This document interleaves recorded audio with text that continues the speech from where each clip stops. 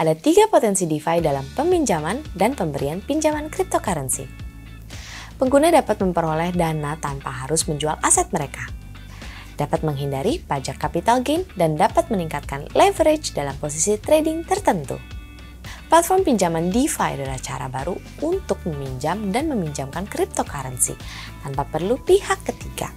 Kamu bisa menggunakan platform ini untuk mendapatkan pinjaman kripto dengan cepat dan mudah tanpa perlu dokumen yang rumit. Bagaimana sih cara kerjanya?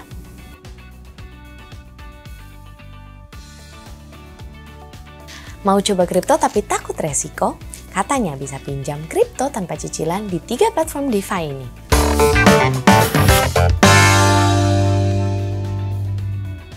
Hai teman pintu, aku Monik. Mau coba kripto tapi masih ragu? Yes, banyak orang yang tertarik dengan cryptocurrency, tapi masih ragu untuk mencobanya. Salah satunya adalah karena mereka takut akan resikonya.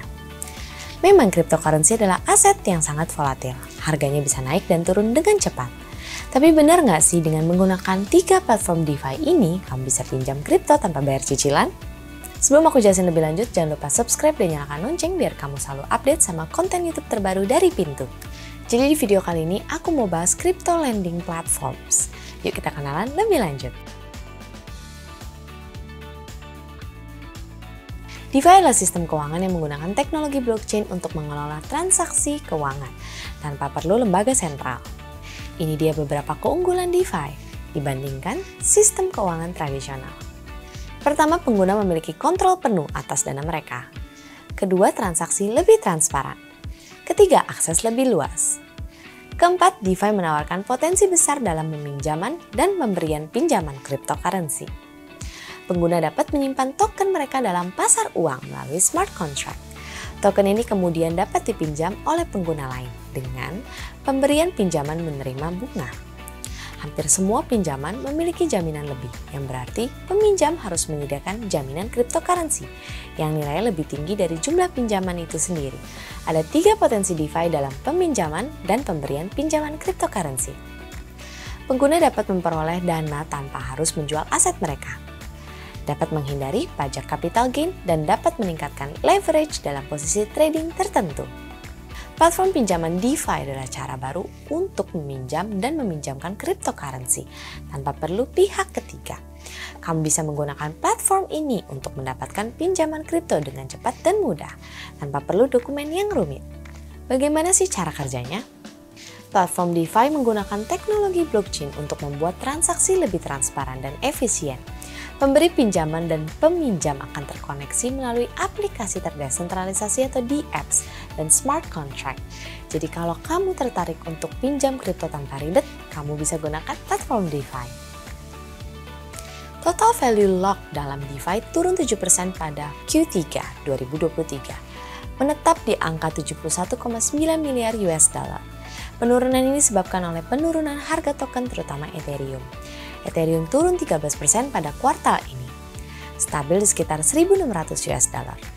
Penurunan harga Ethereum ini berdampak signifikan pada TVL DeFi, karena Ethereum adalah token yang paling banyak digunakan dalam DeFi. Jadi kalau kamu investasi di DeFi, pastikan kamu memperhatikan harga Ethereum.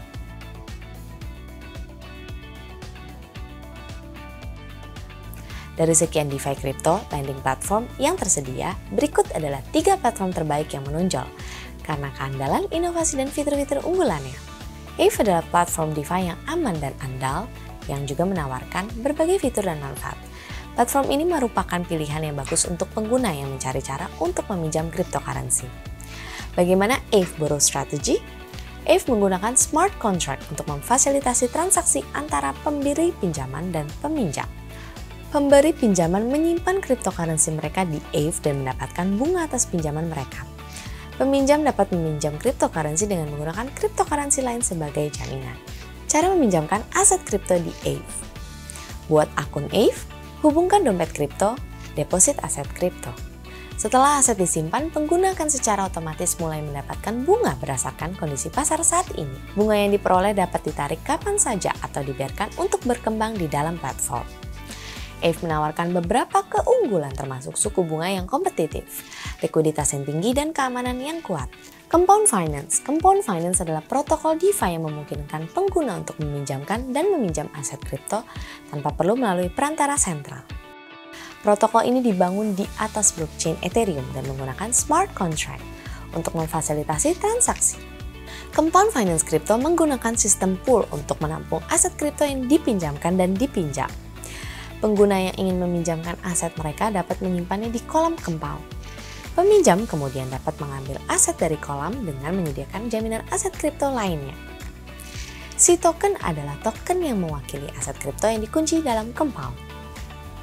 Untuk meminjam aset kripto di Compound, pengguna perlu mengikuti langkah-langkah berikut. Buat akun Compound, hubungkan dompet kripto kamu ke Compound, deposit aset kripto ke dalam protokol Compound. Setelah aset disimpan, pengguna akan menerima si token yang dapat digunakan sebagai jaminan. Jumlah yang dapat dipinjam bergantung pada nilai aset yang dikunci. Misalnya, jika seseorang mengunci BAT senilai 500 US dollar dengan batas pinjaman 50%, mereka dapat meminjam hingga 250 US dollar dari aset kripto lainnya yang didukung oleh Compound. Suku bunga pinjaman di Compound berfluktuasi berdasarkan pasokan dan permintaan. MakerDAO MakerDAO adalah platform pinjaman terdesentralisasi yang terkenal dengan fokusnya pada stabilitas dan keamanan. Protokol ini dibangun di atas blockchain Ethereum mengeluarkan stablecoin, DAI, dan memfasilitasi pinjaman yang didukung oleh jaminan tanpa perantara. DAI yang nilainya setara dengan dolar Amerika Serikat menjadi pilihan ideal untuk peminjaman, pengiriman uang, dan lindung nilai terhadap resiko pasar kripto yang fluktuatif. Untuk meminjam aset kripto di MakerDAO, pengguna perlu mengikuti langkah-langkah berikut. Buat akun MakerDAO, hubungkan dompet kripto kamu ke MakerDAO, deposit aset kripto sebagai jaminan. Nilai jaminan harus melebihi nilai DAI yang diterbitkan pengguna dapat menyetor berbagai aset berbasis Ethereum sebagai jaminan, termasuk ETH, OMG, dan lainnya.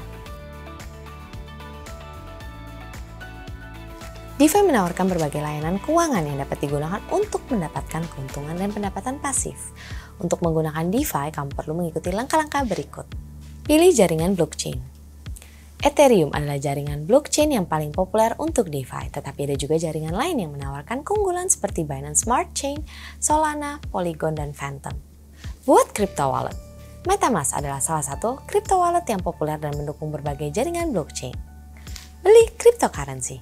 Kamu perlu memiliki cryptocurrency untuk membayar gas fee, yang merupakan biaya transaksi di blockchain. Pilih aplikasi DeFi. Ada berbagai aplikasi DeFi yang menawarkan berbagai layanan seperti DEX, layanan simpan pinjam, dan agregator. Ada simple tips untuk memulai DeFi. Lakukan riset sebelum menggunakan DeFi. Penting untuk memahami resiko yang terlibat. Mulailah dengan yang kecil. Jangan menginvestasikan lebih banyak uang daripada yang kamu sanggup kehilangan.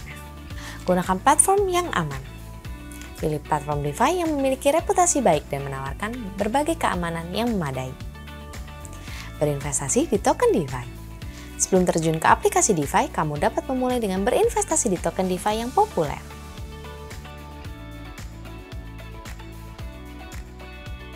Tambahkan saldo di Earn untuk mendapatkan bunga. Dari Flexi Earn yang memberikan bunga setiap jam selama saldo masih ada. Dan Lock Earn yang memberikan bunga setelah periode tertentu berakhir kamu dapat meningkatkan bunga dengan meningkatkan level staking PTU dan mendapatkan manfaat bulanan berbagai voucher menarik. Pintu juga memiliki fitur PTU staking memberikan manfaat bulanan. Download aplikasi cryptocurrency Pintu dari Play Store atau App Store. Keamanan kamu terjamin karena Pintu diregulasi dan diawasi oleh Bapepti dan Kominfo. Video ini berdasarkan artikel-artikel di Pintu Academy, Pintu Blog, dan Pintu News. We hope you enjoy this video. Stay tuned for our next video.